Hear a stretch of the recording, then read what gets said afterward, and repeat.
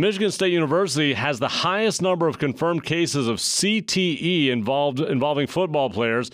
That's according to a new report by Concussion Legacy Foundation. Meanwhile, the NFL setting up new rules for dealing with concussions. Dr. John Michels joins us, pain doctor, Super Bowl champion, played for the uh, Green Bay Packers in the Super Bowl, won it too. Dr. Michels, great to have you on WILS. Thanks for having me on. Yeah, I saw Donald Trump talking about these new rules by the NFL, saying these uh, softer NFL rules, and saying that uh, really we're being a little too, a little oversensitive at this point with concussions. What what do you think about that?